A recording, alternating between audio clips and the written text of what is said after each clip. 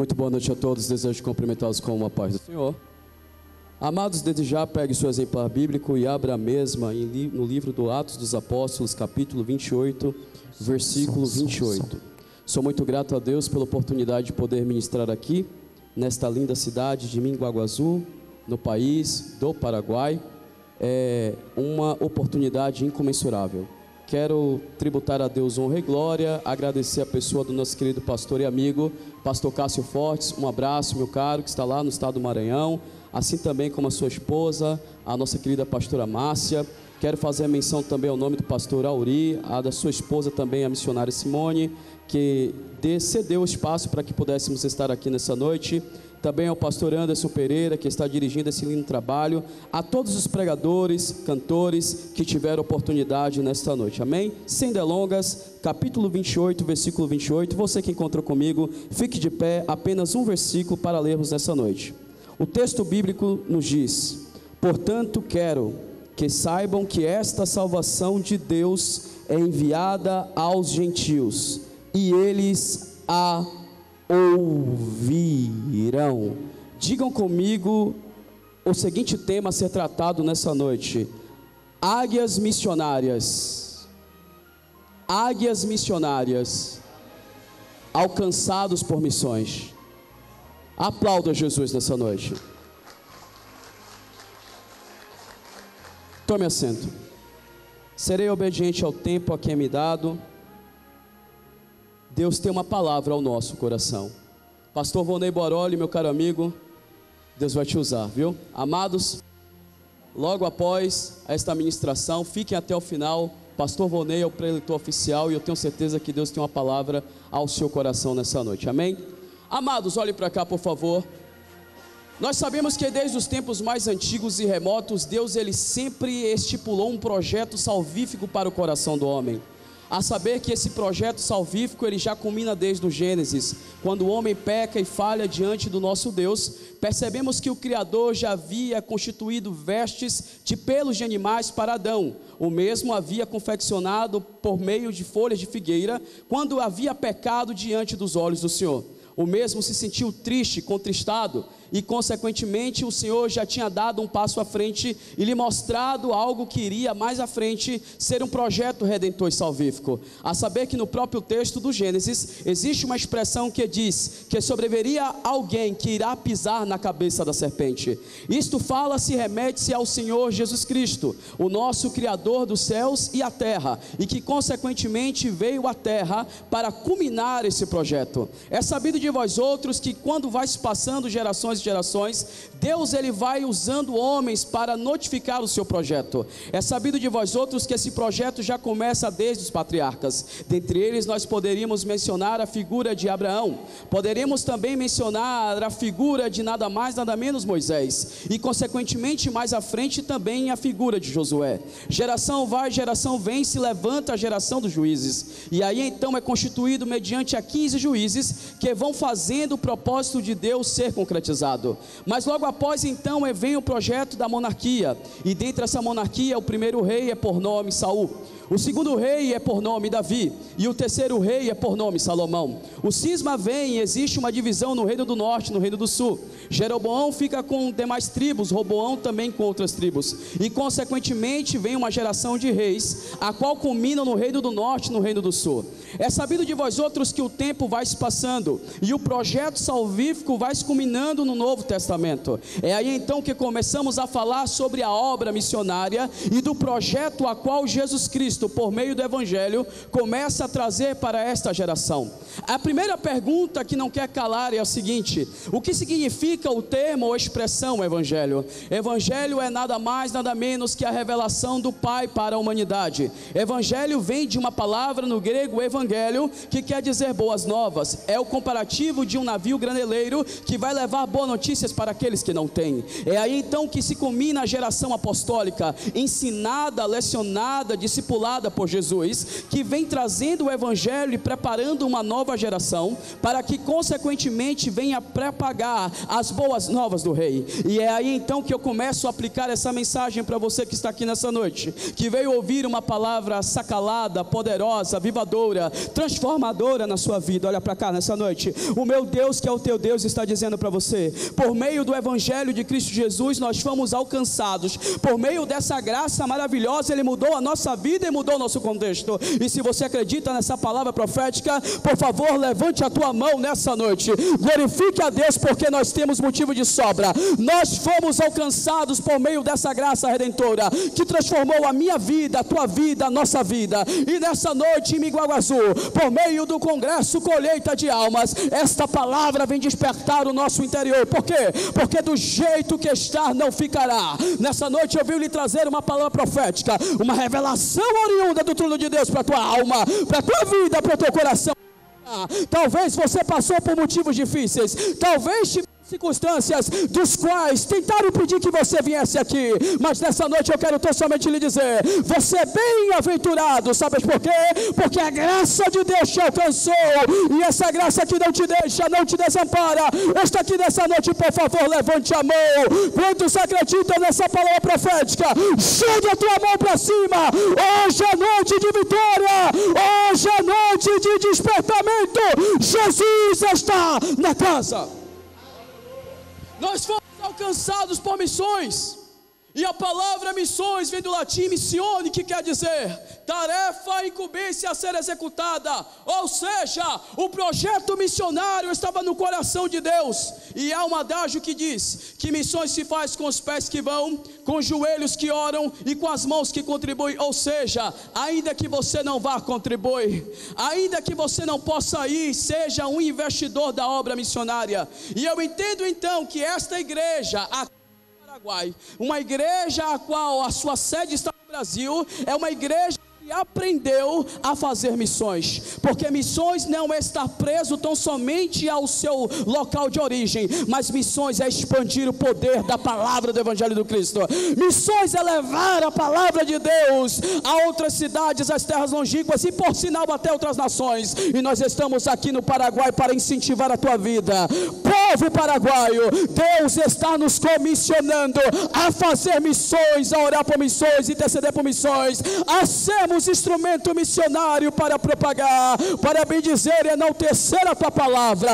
Eu sou primeiro nessa noite, levante a Segundo, levante a mão quem acredita que esta palavra nessa noite não te deixa, não te desampara, não te perde vista. Ele te alcançou, ele te alcança e ele não te deixará frustrado. Olha para cá, como dizem os ingleses, look at me for please. Olhe para cá, por favor. Entendemos então que no projeto missionário, no Novo Testamento, existe algo chamado Evangelho. E dentro do evangelho existem quatro, dentre os quatro, cada um deles tem uma característica, a saber, o primeiro evangelho descrito, segundo a tradição do Novo Testamento, seria o evangelho de Mateus, a saber que os teólogos dizem que o primeiro evangelho é o evangelho de Marcos, e dentro do evangelho de Marcos virão os evangelhos sinópticos, ou seja, evangelhos de visão idêntica, semelhante, mas dentro da terminologia e da tradição do Novo Testamento, eu quero dizer que o evangelho de Mateus tem uma característica muito importante, olha para cá e vem comigo, Primeira característica é a seguinte: o Evangelho de Mateus foi escrito especificamente para o povo eleito de Israel. A saber que foi escrito por Mateus, e seu nome no original hebraico é Matitiarro. Ele é também conhecido como Levi e é também dentre um dos apóstolos de Jesus. Ele era cobrador de impostos e conhecia muito bem a situação do seu povo. Era mal visto por eles porque era publicano, mas quando ele se encontrou com Jesus, a sua vida nunca mais foi a mesma. E quando ele escreveu o Evangelho de Mateus, o Evangelho Evangelho de Mateus tem uma característica muito importante, olhe para cá e vem comigo. A primeira característica do Evangelho de Mateus é que logo no capítulo 1 descreve a genealogia, abordando uma genealogia real, do qual sobreviveria o nosso Messias, mostrando então que a salvação vem dos judeus e que por meio dos judeus a salvação estaria à terra, acessível a todos. Mas vale lembrar então que esta salvação foi recusada e foi desprezada pelo próprio povo judeu, mas que me faz lembrar então então que o Evangelho não é apenas para o povo de Israel, mas para mim, para você, para brasileiros, para paraguaios, para argentinos, para uruguaios, para venezuelanos, para bolivianos, para aleluias, americanos, para todas as nações europeias e todas as nações de todo o mundo, porque o próprio Jesus havia nos ensinado. Portanto, ide e pregai o Evangelho a toda criatura. Quem crê será salvo, quem não crê está condenado. Ou seja, olha para cá, o Evangelho de Cristo nos alcançou, e por ter nos alcançados, somos maravilhados por essa imensa graça, que é um favor imerecido que mudou a minha vida, que mudou a tua vida, e nessa noite olhar para cá, por meio dessa palavra nós estamos de pé, porque esta palavra manifesta a fé, e quantos acreditam nisso, por favor, levante a tua mão e glorifique, Jesus está neste lugar, esta graça nos alcançou. A segunda característica está no Evangelho de São Lucas. E o Evangelho de São Lucas, ele é destinado para o povo grego. E dentro do Evangelho de São Lucas, ele prega para a comunidade culta, intelectual, para os grandiosos dessa terra. Lucas é médico historiador, caminha com o apóstolo Paulo, é narrador de suas aventuras missionárias.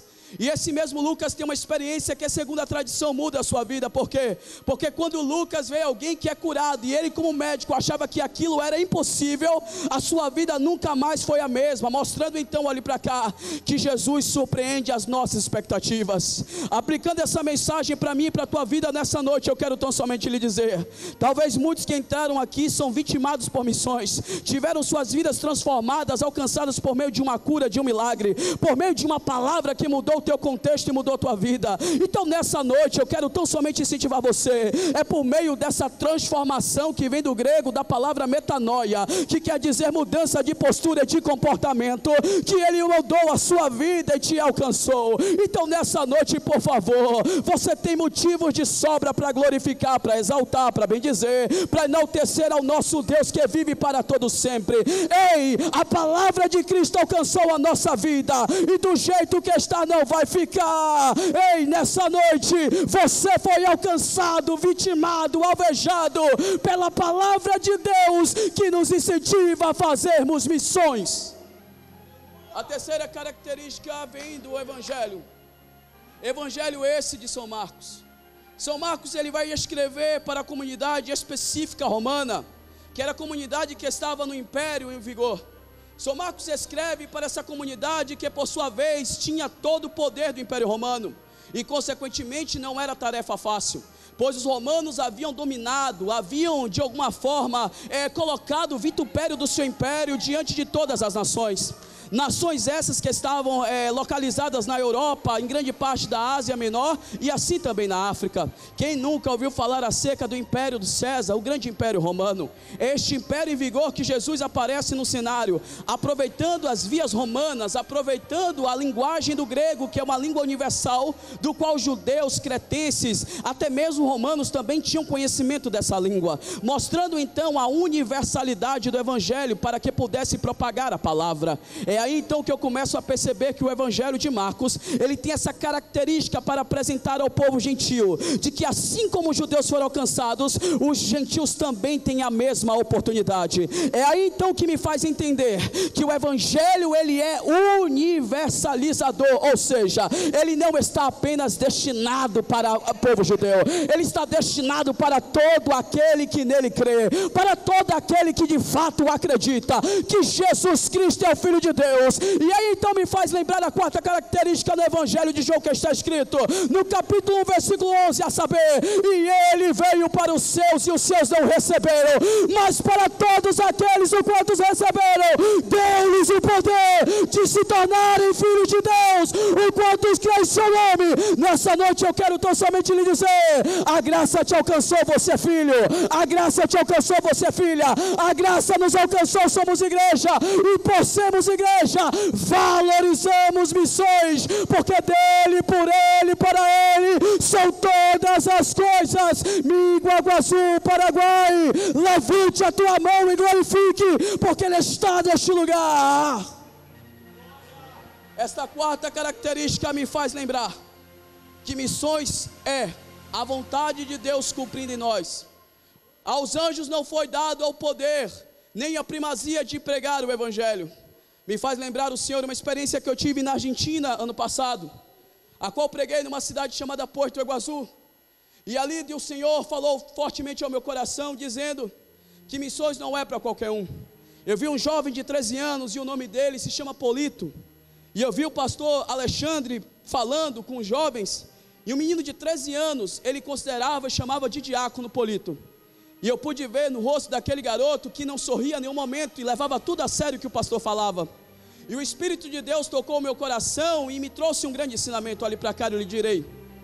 Nos tempos de angústia e nos tempos de dificuldade, o Senhor torna meninos em homens. Ou seja, olha para cá. Deus está dizendo para minha alma e para tua alma que nos momentos da aflição da sua vida eu estou trazendo uma palavra missionária, uma palavra evangelística para tua alma, porque você não sabe o teu dia de amanhã. Assim o meu Deus manda lhe dizer: nos tempos de angústia e de dificuldade, Deus constitui meninos em homens. E nessa noite, se você acredita numa palavra profética, levante a mão porque eu vou profetizar. Deus está amadurecendo o teu ministério, está amadurecendo a tua chamada, do jeito que está não vai ficar. Eu saí de uma cidade chamada Suzano, na zona leste de São Paulo, para profetizar a nação paraguaia. Deus está te tomando pela mão direita e vai amadurecer o teu chamado. Quantos acreditam? Quantos acreditam? Deixa eu ver nessa noite, deixa eu ver. Levante a tua mão, fecha ela e bate no peito, dizendo: Eu recebo esta palavra. Ele mudou a minha vida. Há 18 anos atrás eu era roqueiro e tinha uma banda de rock em Salvador, Bahia. Eu não só tinha perspectiva nenhuma, mas Jesus entrou na minha vida e mudou o meu contexto. O Evangelho tem poder para isso. E não esperava eu que hoje poderia estar aqui no Paraguai pregando essa palavra e conhecendo vocês. Falando um pouco, aleluias, do que Cristo fez na minha vida e do que Ele ainda há de fazer. Olha para cá. O Evangelho é tão poderoso e tão transformador que o Evangelho muda o contexto social, econômico, político, intelectual, social. O Evangelho é tão poderoso e tão poderoso que faz você sair do monturo e assentar a meus príncipes. Eu estou profetizando nessa noite: do teu amanhã o Senhor cuida, o Senhor guarda, o Senhor protege. Então, por favor, pare de estar cabisbaixo, desatinado, entristecido, achando que a sua vida não vai ter mudança. Eu profetizo hoje. hoje Hoje é noite de arregaçar as mangas. Derrota não é coisa de cristão. Se levante do chão e erga a tua cabeça. Hoje o meu Cristo vai entrar em cena e vai mudar esse contexto. Dentre os quatro evangelhos, combinam quatro símbolos. Dentre esses quatro símbolos está o clímax dessa mensagem hoje. O primeiro evangelho de Mateus representa o leão. Diga comigo, leão. E o leão fala sobre a tribo de Judá, como já foi pregada pela reverenda Fátima. O leão fala sobre a voracidade e a coragem de lutar e de não desistir. O segundo símbolo que representa o evangelho, que está no evangelho de Lucas, representa o homem, diga comigo, homem. E o homem representa a dádiva, a primogenitura da criação de Deus. Porque mesmo que Deus havia ainda criado os anjos e os seres espirituais primeiros, Deus criou o homem de uma maneira muito específica, porque criou das suas mãos e soprou da sua narina o fôlego da vida, ou seja, uma obra primaz da sua criação. E não é à toa que o profeta Isaías havia dito: que ele será chamado maravilhoso, conselheiro, Deus forte, Pai da eternidade e príncipe da paz. Mostrando então que o próprio Deus, o Emanuel, sobreveria diante de uma concepção virginal e habitaria no meio dos homens para que pudesse ser experimentado de dores e pudesse ter a mesma existência que nós e compreender o homem na sua magnitude. Ou seja, Deus experimentou ser homem e habitar entre nós e propagar o evangelho e nos mostrar que nós podemos caminhar em um caminho de perfeição. Então, o homem é uma representação importante aos olhos de Deus e mostra também o quanto você é importante, porque se é uma coisa que quer desvalorizar a minha a sua vida é o diabo, como diz lá na Bahia, na minha terra, qual nasci, o diabo é safado, ele veio para roubar, para matar e destruir. Mas nessa noite, povo paraguaio, eu quero tão somente lhe dizer: a depressão não vai te alcançar, a tristeza não vai te dominar, o desemprego não vai falar mais alto, a falta de perspectiva não terá domínio sobre você, porque o poder do Cristo por meio do Evangelho vai mudar o teu contexto, vai mudar a tua história, vai mudar a tua vida. E nessa noite eu estou profetizando: você não sai da mesma forma, porque a palavra de Jesus te alcançou. Olha para cá. Se é outra característica que eu aprendo, leão, homem, a terceira é boi. O boi é o animal que representa o Império Romano. E para quem não sabe, quem trouxe o gado para o Brasil foram os portugueses. Porque no Brasil não havia gado. Eles tiveram que trazer muitos animais quando vieram para cá. É uma curiosidade interessante. E o boi é um animal latino, é um animal muito específico da região do Império Romano. E o boi também é uma figura que representa algumas divindades. E o boi também fala de prosperidade, mas também fala de carne. Quando o boi está se remetendo à figura do Império Romano, e consequentemente ao Evangelho de Marcos, está dizendo que o boi foi alcançado, ou seja, os gentios que eram menosprezados, desprezados, que não tinham valor nenhum, foram alcançados por Deus em meio a Cristo. E é aí então que eu entendo esse versículo do capítulo 28, quando Paulo está na ilha de Malta, o mesmo está dizendo, está pregando, e o texto diz, capítulo 28, versículo 26: Vá a este povo e diga, ainda que estejam sempre ouvindo, vocês nunca entenderão, ainda que estejam sempre vendo, jamais perceberão, pois o coração deste povo se tornou insensível de má vontade, ouviram com os ouvidos e fecharam os olhos, se assim não fosse, não poderiam ver com os olhos, ouvir com os ouvidos entender com o coração e converter-se, e eu os curaria. Portanto, quero que saibam que esta salvação de Deus é enviada aos gentios, eles ouvirão, e depois que lhe disser isto, os judeus se retiraram discutindo intensamente entre si. Se você não pegou a senha, eu vou ser claro nessa noite. Paulo está pregando o evangelho para a comunidade judaica. Eles estão com o coração obstinado e resistindo, mas este mesmo Paulo que foi levantado para pregar aos gentios, vai pregando para outros povos, e esses povos vão sendo alcançados por meio da pregação do Evangelho. Igrejas são formadas na Ásia Menor, na Ásia e também no continente africano. A propagação do Evangelho vai fazendo que o que o mesmo seja alcançado. Alvoraça a comunidade judaica que não consegue entender. Jason é perseguido, os demais perseguem ele, dizendo: Estes que alvoraçaram o mundo chegaram até aqui. Ou seja, eu começo a entender que o Evangelho incomoda. Eu começo a entender que o Evangelho atrapalha quem não quer. Que o Evangelho, aleluia é perturbação para os judeus, que o Evangelho é loucura da pregação, mas é esse Evangelho que muda a vida e que nos traz a vida eterna e, consequentemente, a salvação. Ou seja, este Evangelho nos alcançou e por isso estamos alegres. Levante a tua mão nessa noite, recebe essa palavra. O Evangelho muda contexto de vida. Já vou encerrar.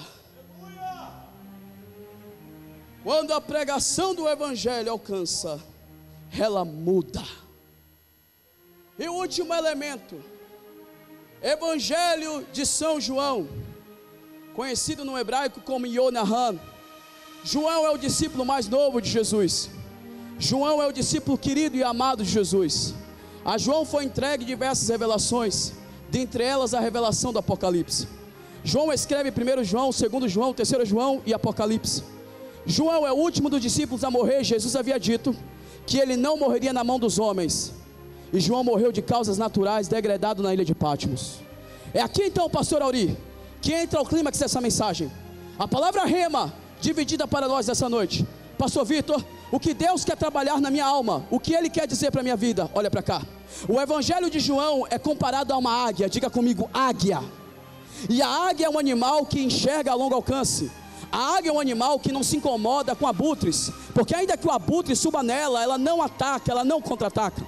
A águia é um animal que sabe lutar no seu ambiente, pois quando ela luta contra a serpente, olha para cá e pega essa. Aproxima aqui, Elias, por sinal, um pouco mais essa câmera. A águia é um animal, olha para cá, que quando ela luta contra a serpente, ela pega a serpente que está lá embaixo e levanta jogando para cima. Ou seja, a águia é um animal que sabe muito bem que o seu ambiente de luta não é travado na terra, mas é travado no céu. Pega a revelação, vou te entregar agora. Ei, quando o evangelho de João está nos comparando à águia, a primeira revelação que eu entendo é que toda águia precisa saber lutar com as armaduras que Deus te entregou.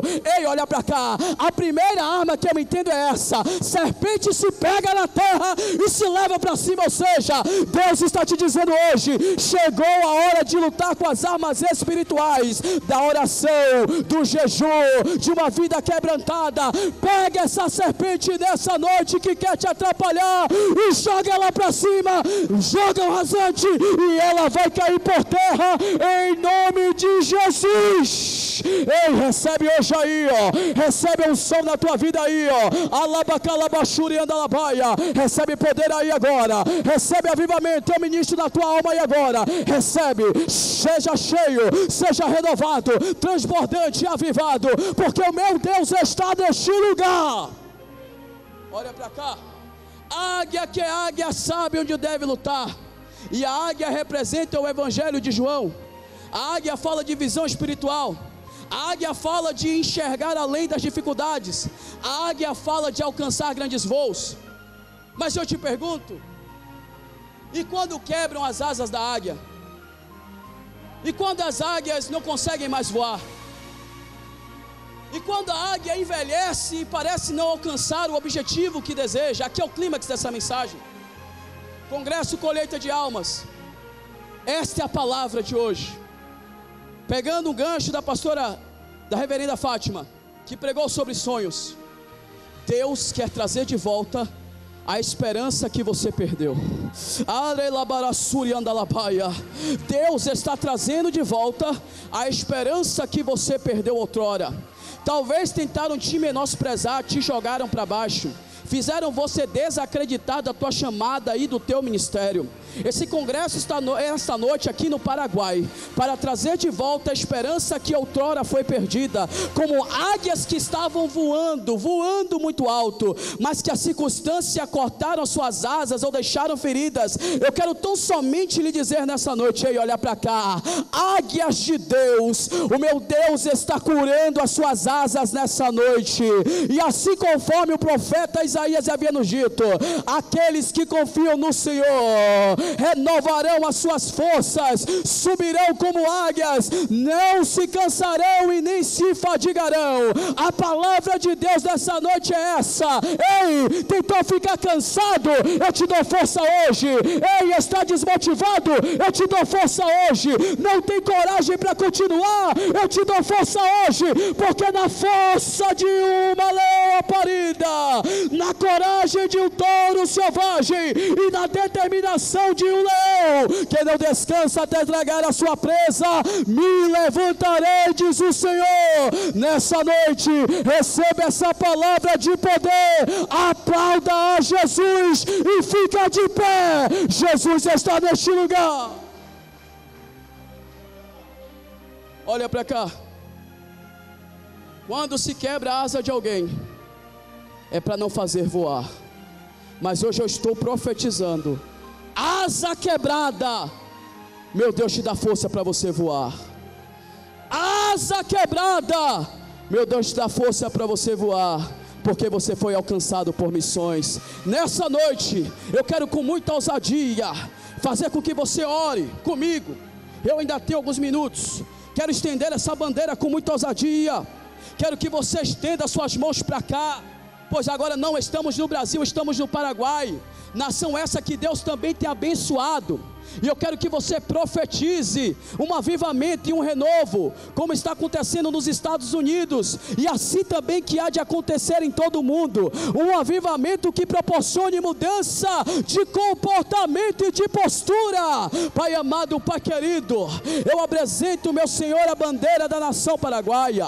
Meu Deus, abençoa, meu Senhor, este congresso. Abençoa, meu Senhor, essa nação. Abençoa, meu Pai, a cada vida que está aqui presente presente. Transforma o contexto, meu Pai, renova vidas. Ah, Senhor, eu estendo esta bandeira, ó Pai, bandeira desta nação a qual estou pregando nessa noite.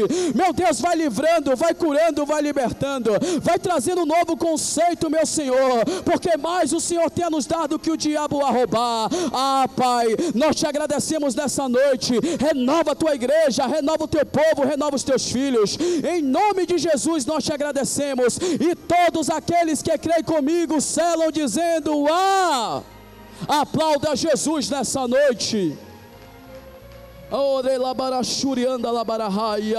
E assim eu encerro dizendo: Ei, águia missionária, asas quebradas não vão te parar. Diga comigo: águia missionária, asas quebradas não vão nos parar. Aplauda Jesus nessa noite.